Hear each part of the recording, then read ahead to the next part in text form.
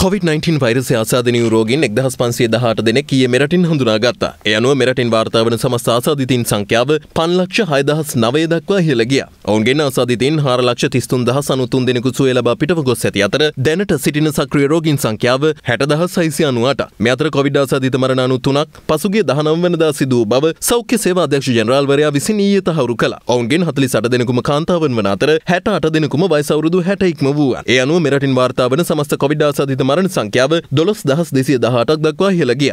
මේ අතර COVID-19 ආසාදනය වීමෙන් වවුනියාව නගර සභාවේ නාගරික මන්ත්‍රීවරියක්ද මිය ගොස් තිබෙනවා. කෙසේ වෙතත් මේ වන විට මෙරටින් වාර්තා වන COVID ආසාදිතින්ගේ සහ COVID ආසාදිත මරණවල අඩුවක් දක්නට ලැබෙනවා. පෞද්ගලික සති දෙක තුන තමයි අපේ ජීවිත කාලේ බරපතලම සෞඛ්‍ය ඛේදවාචකයට අපි මුහුණ දුන්නේ.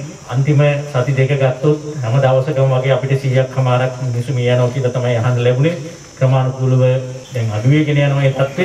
ඉන්දියාවේ එහෙම නැත්නම් ඉන්දුනීසියාවේ වගේ තත්ත්වයක් ඇති නොවෙන්න මහපාරේ මිනිස්සු මලමිනි ගිනි තියන්නේ නැති තත්ත්වයක් ඇති කරගන්න අපේ සෞඛ්‍ය කාර්ය මණ්ඩලය කරපු කැපකිරීම නිසා තමයි අපිට මේ තත්ත්වයට පාලනය කරගන්න පුළුවන්කම ලැබුණේ. මේ අතර සෞඛ්‍යංශ අනතුරංග වන්නේ ජනතාව යළිත් වගකීම් විරහිතව හැසිරුණහොත් යළිත් වරක් රට තුළ කොවිඩ් අවධානම ඉහළ යා හැකි බවයි. මේ වහලා තිබිච්ච කාල සීමාව තුළ දිගටම අපි කියපු දෙයක් තමා රට ඇරියොත් පෙර පැවති විදිහටම ජනතාව ඒකරාසි වීම හරහා මේ රෝගය නැවත වැඩිවීමට ඉඩ තියෙනවා. නැවත වැඩි වෙනකොට බොහෝ වෙලාවට අපි දන්නේ නැහැ. මීටත් වඩා දරුණු ප්‍රභේද ලංකාවට ඇතුළු වෙලා ඒක හරහා මේක වැඩි වෙන්නත් ඉඩ තියෙනවා. අපි සියලු දෙනාම වගකීමෙන් යුතුව කටයුතු නොකළොත් ඉතා සුළු පිරිසකට පුළුවන් රටම විනාශ කිරීම සඳහා ගෙනියන්න. මේ අතර එන්නත් කරන වැඩසටහන අදත් ස්ථාන කිහිපයකදීම සිදු කෙරුණා. මේ වන විට මෙරට ඉලක්කගත ජනගහනය ඉක්මවා පළමු මාත්‍රාව ලබා දී ඇති අතර එහි දෙවන මාත්‍රාවද ඉලක්කගත පිරිසෙන් 94කට අධික පිරිසකට ලබා දී තිබෙනවා. ඒ අනුව පළමු මාත්‍රාව ලබා දී ඇති සමස්ත සංඛ්‍යාව 1 කෝටි 38 ලක්ෂ 2944ක්. 1 කෝටි 11 ලක්ෂ 24145 දෙනෙකුට මාත්‍රා දෙකම ලබා දී තිබෙනවා. මේ අතර ස්පුට්නික් එන්නතේ පළමු මාත්‍රාව ලබා දුන් මහනුවර දිස්ත්‍රික්කයේ ජනතාවට එහි දෙවන මාත්‍රාව ලබා දීම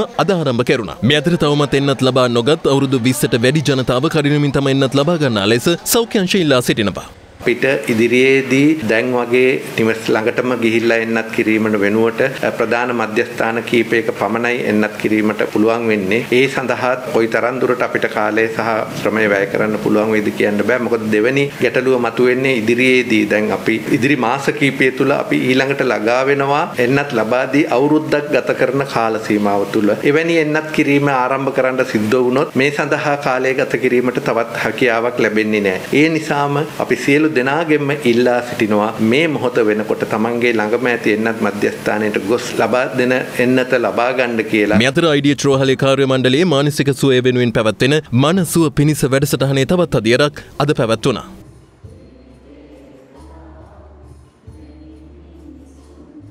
මේ අතර ගම්පහ බණ්ඩාරනායක විද්‍යාලයේ 89 වැනි ආදිශිෂ්‍ය කණ්ඩායමේ මැදිහත්වීමෙන් ගම්පහ මහරුහලේ කොවිඩ් දැඩි සත්කාර ඒකකයට සහ කොවිඩ් ආසාදිතව ප්‍රතිකාර ලබන ගැබිනිමවරුන්ගේ වාටුවට අවශ්‍ය උපකරණ පරිත්‍යාග කළා. ඒවාහි වටිනාකම රුපියල් ලක්ෂ 28කට අසන්නයි. මේ අතර රටටත් කොවිඩ් ආසාදිත රෝගීන්ටත් සෙත්පතා අනුරාධපුර රුවන්වැලි මහසෑරදුන් අභිසදී දින හතක් මුළුල්ලේ පැවති පිරිත් සජ්ජායනය ඊයේ අවසන් වුණා.